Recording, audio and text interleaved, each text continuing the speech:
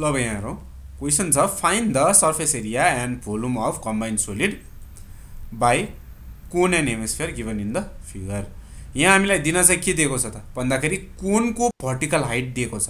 है? कोनको vertical height six centimetre अनि त्यसपछि यो एट पोइन्ट सेभेन सेन्टिमिटर भनेको स्ल्यान्ड हाइट हो।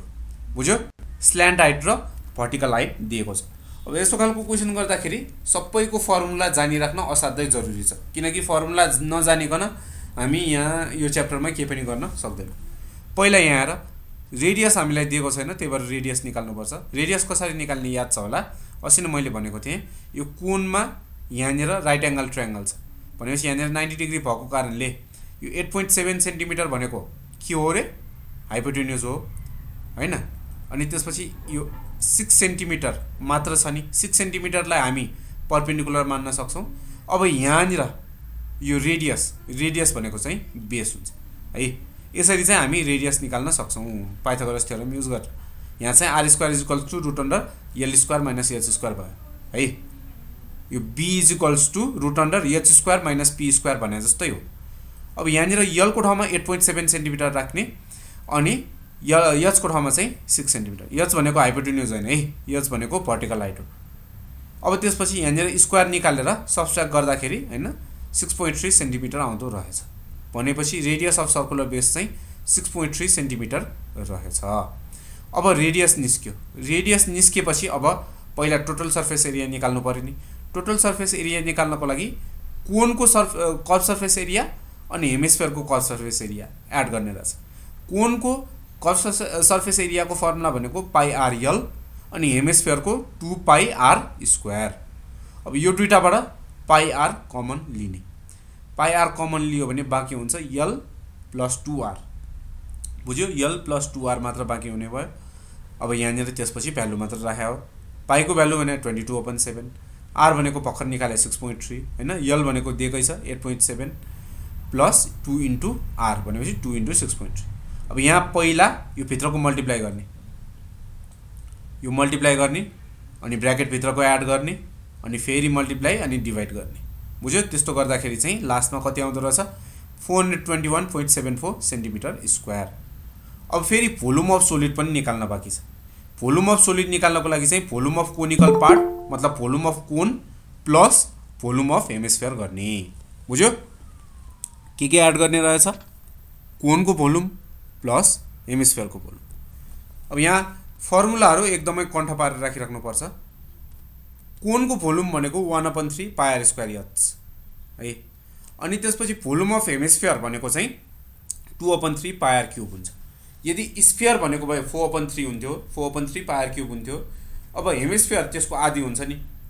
स्फियरको आदि हेमिस्फियर हुन्छ त्यही भएर हेमिस्फियरको भोल्युम चाहिँ two upon three pi R cube हुन्छ। यहाँ पनि कमन लिने। के कमन लिने? One upon three pi R square common आउँछ। बुझ्यो one upon three pi R square common आएपछि यता बाँकी हुन्छ यच मात्र। है? अनि यता बाँकी हुन्छ? Two R. अब त्यसपछि भ्यालु राख्दै जाने। One upon three into पाईको value twenty two upon seven into आरको value अघि निकाले सिक्स पोइन्ट थ्री होइन? यचको भ्यालु त क्वेसनले नै दिएको थियो। अनि त्यसपछि यहाँ पनि त्यस्तै गरेर माथि जस्तै पहिला मल्टिप्लाई गर्ने यो होइन? Two into six point three multiply गर्ने। अनि त्यसपछि मल्टिप्लाई गरिसकेपछि चाहिँ यो ब्राकेटभित्रको एड गर्ने। ब्राकेटभित्रको पनि एड गरिसकेपछि चाहिँ अनि फेरि यो बाहिरको नम्बरहरूसँग मल्टिप्लाई गरेर होइन थ्री र सेभेनले डिभाइड गरिदिइसकेपछि चाहिँ one hundred twenty two point seven six आउँदो रहेछ। यो चाहिँ के रहेछ? भोल्युम अफ सोलिड यो क्वेसनमा चाहिँ के छ भन्दाखेरि दुईवटा कोन्सहरू एक आपसमा जोडिएको छ। अनि दुबईको vertical height ten point five centimetre हो अनि दुबईको स्ल्यान्ड हाइट पनि इलेभेन पोइन्ट नाइन सेन्टिमिटर हो। भनेपछि दुबईको सबै कुरा सेम नै छ। है स्ल्यान्ड हाइट र भर्टिकल हाइट सेम भनेपछि यसको रेडियस पनि दुवै कोनको रेडियस पनि सेम नै हुनु पऱ्यो एउटाको माथि अर्को यसरी कोन राखिएको छ है? अब यहाँ चाहिँ के भनेको छ find the surface area and volume of the cone भनेको छ। यहाँ पनि सर्फेस एरिया भनेको टोटल सर्फेस एरिया नै हो। Total surface area of solid निकाल्नु पऱ्यो भने चाहिँ यो यतापट्टिको कोनको कर्भ सर्फेस एरिया र यतापट्टिको कोनको कर्भ सर्फेस एरिया है? त्यो चाहिँ के गरिदिने? निकालिदिने अनि एड गरिदिने। यहाँ चाहिँ के गरिदिएको छ भन्दाखेरि यहाँ चाहिँ इक्जाम्पलमा चाहिँ टूले मल्टिप्लाई गरिदिएको छ।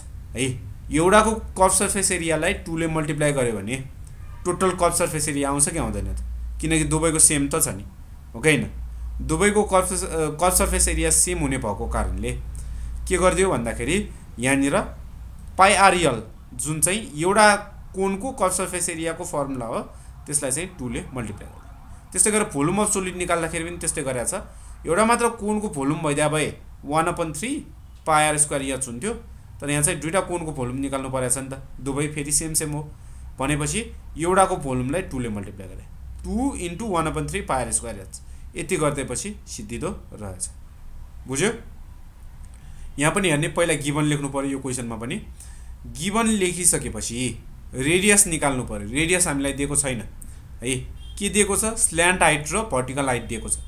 अघिनको जस्तै स्ल्यान्ट हाइट र भर्टिकल हाइट युज गरेर चाहिँ यो रेडियस निकाल्ने। अर्को फर्मुला के हुँदो रहेछ? Root under L square minus H square बुझ्यो? L square minus H square गऱ्यो भने के आउँछ? आर आउँछ। आर भनेको के हो? रेडियस हो।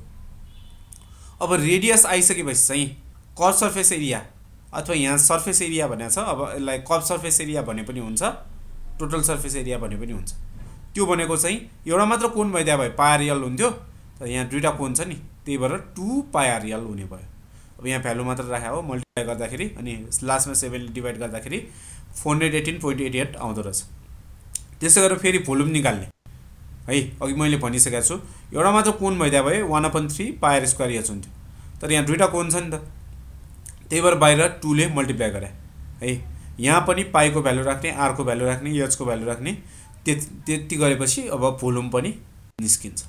बुझ्यो? मल्टिप्लाई गर्ने पहिला मल्टिप्लाई गरेर अनि थ्री र सेभेनले डिभाइड गरिदिने। डिभाइड गरिदिइसकेपछि यति आउँछ यो six hundred eighty nine point ninety two छ नि। यो चाहिँ एन्सर भयो। ल यसमा नबुझेको कुरा केही छ त? यति गर्नुपर्छ। पहिला रेडियस निकाल्ने। रेडियस निकालेर के गर्ने रहेछ? कर्भ सर्फेस एरिया अथवा सर्फेस एरिया मात्र भनेको छ नि त।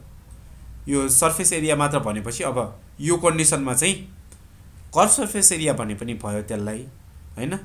अब दुबै कोनको निकाल्या भएर टोटल सर्फेस एरिया भने पनि त्यही हो। एउटै हो यो कन्डिसनमा चाहिँ। केही नबुझेको छ? भने सोध्ने।